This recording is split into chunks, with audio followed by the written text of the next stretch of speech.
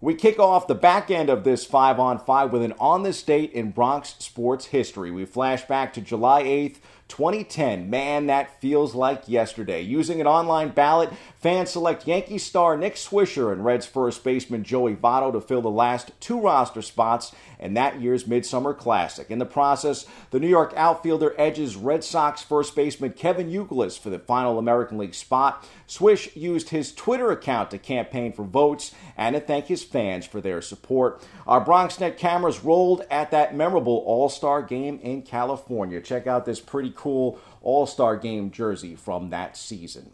Yes, indeed, Nick Swisher, one of our favorites.